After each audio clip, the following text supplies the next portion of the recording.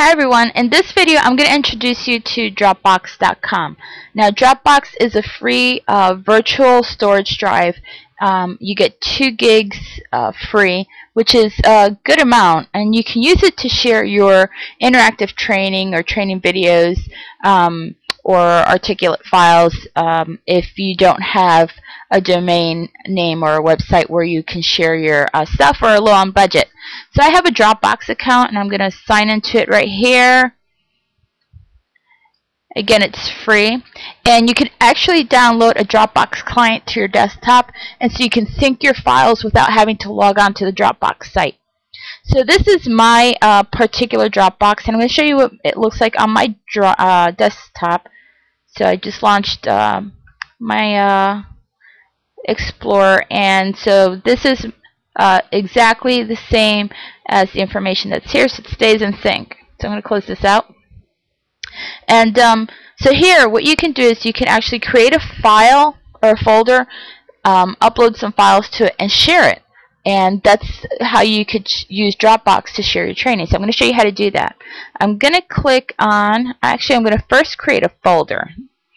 Um, click create folder and I'm going to give it a name. I'm going to call it training. I'm going to create it.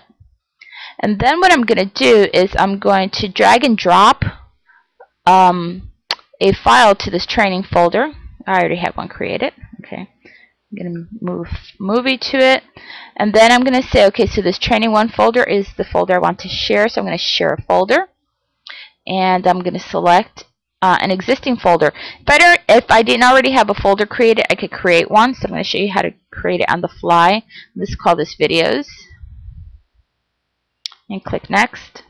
And then you can select who do you want your collaborators to be. I'm going to uh, choose my personal account here. And I'm going to enter a subject. Uh, check out my training videos and I'm going to share the folder. Alright, so now here on my desktop, you'll see that it's syncing automatically. I don't have to do anything. Um, so this training, uh, uh, I created this videos folder that was shared, so now I can just drag and drop um, a document into it, like that. Um, it moves the uh, file into that folder.